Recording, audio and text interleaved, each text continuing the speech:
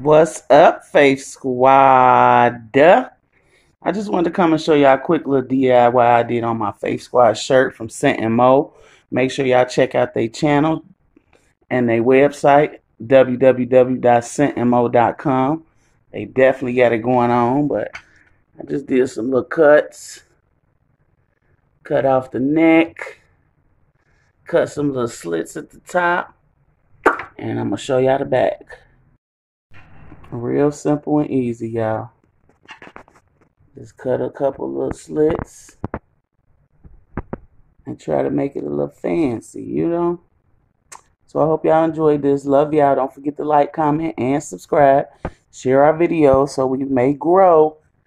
Grow, grow, grow. Y'all stay safe and stay blessed.